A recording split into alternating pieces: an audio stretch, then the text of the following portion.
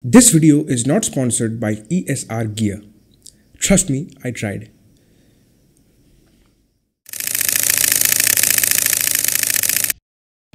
So the last time I made a video about a case from ESR Gear, I said, and this is what I call a great product. So I don't see the cases coming off for a very long time. But soon after the video, I found a much better alternative. This is the Rebound Magnetic Keyboard Case from ESR Gear.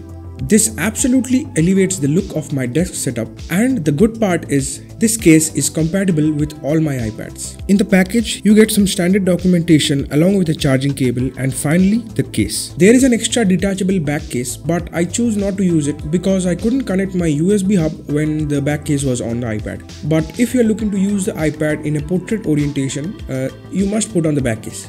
This keyboard case looks just like the Magic Keyboard by Apple but it costs about half the price of the Magic Keyboard. The battery life is insane. For the last one week that I've spent using this case, the battery life went from 100 to only 85%. I think that is pretty good.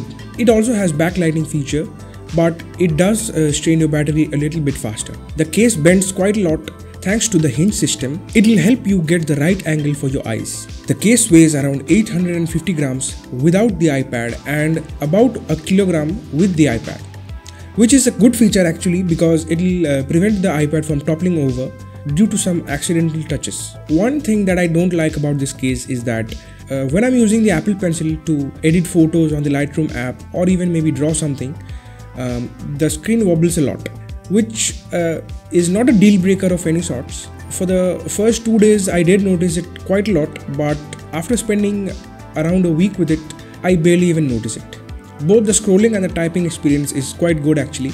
Uh, although I wish the trackpad was a little bit bigger. Uh, ESR Gear claims that on a full charge the battery will last about a year, which seems rather unrealistic to me. But uh, I don't know, maybe I'll wait uh, one more year till I make the long-term video about this case. Uh, if you use the Apple Pencil or any kind of stylus, the magnetic clasp will help you keep it secure and closed. This is quite a versatile keyboard case that offers a lot to its customers along with creativity and freedom. It costs around 10 to 12,000 Indian rupees. I won't say it is cheap, but uh, if you look at the alternative that you have, I think it's a pretty good deal.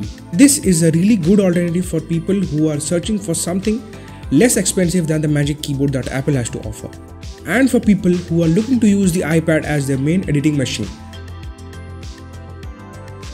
Uh, so that was all for this video. Uh, thanks for watching it till the end, and I'll see you in the next one.